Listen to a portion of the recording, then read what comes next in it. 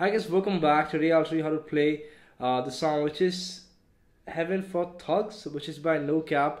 Now, very easy song. If you hear the song, we got a nice little riff which I'll show you guys in this video, and that's the main thing. And that's the main reason why I'm making this video. I got this as a request. Now, uh, please ignore the lightning. It's a bit dark over here.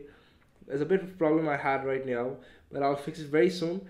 Until then, let's get started. No capo, standard tuning. Uh, firstly, I want to start off with the right hand. I like to use my thumb for the top three strings, which includes E, A, D. So thumb plucking E, A, D. Index plucking the G string, middle finger plucking the B string, ring finger plucking the high E string. With that in mind, we have the first shape, which is a E major. I got open, second, second, first, open, open. Right, so see how I'm playing it? Open, second, second, first, open, open. So what I'll do is on the right hand I'll do, pluck the E D G B all together just like that. So E D G B. After that I go to a B major chord. I have second fret on A and my ring finger is kind of barred on the fourth fret of D G B.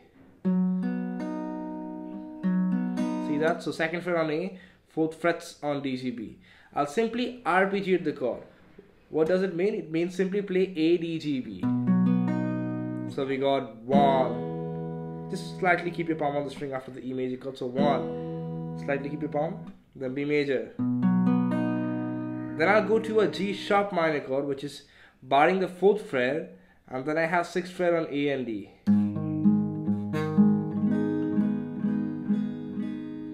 So what I'll do is I'll play E4, D6, G4, B4. So I again arpeggiated the chord. I got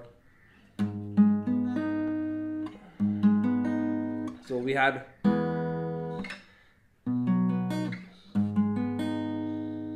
and after that I'll go to the F sharp major chord. I bar the second fret uh, completely, the third fret on the G, fourth fret on A and D.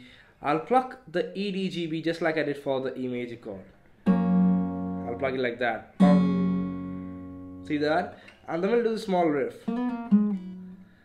So I did a hammer on to a pull off from 3 to 4 back to 3 on the G string. And then I play 6th fret and 4th fret on the D. So we got you can do this as a pull off or you can just play it individually. So we got